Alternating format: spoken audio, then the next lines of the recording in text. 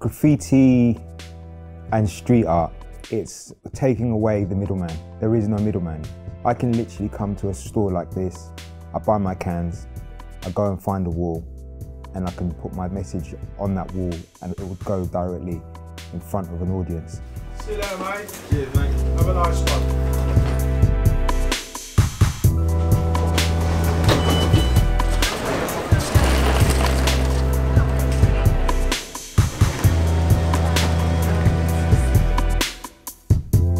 Series, we touch on domestic violence, sexual violence, FGM, education, community engagement. All of the women in the You Are Enough series are people who have triumphed over adversity. These are people who have stayed focused on really giving back to society. When he got to know me, I think he saw that there's more than my image. He um, spent the day talking to me and asking about my history, and I shared that when I was younger, I was abused.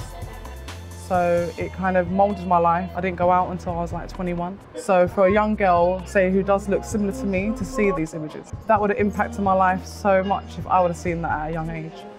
I'm a mother and I work with young people, so it's really important to demonstrate um, real positive role models, whatever your ethnicity is. Beauty is not, you know, about what's on the magazine, it's about real people, it's about people in the community. There, there's that beauty.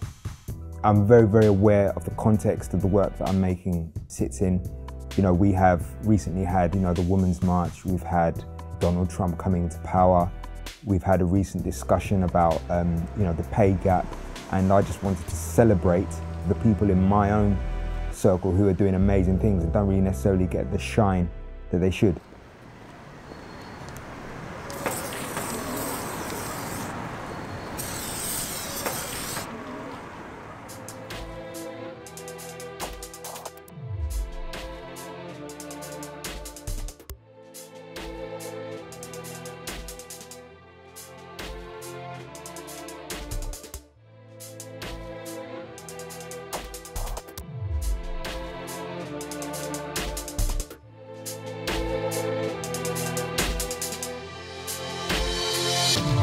We'll be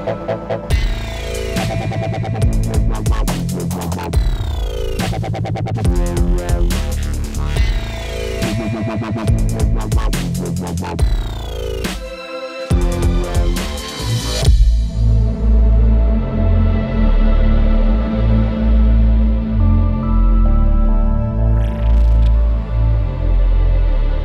I definitely think there's a low representation of black women, but we are here, we exist, we've been here for a long time.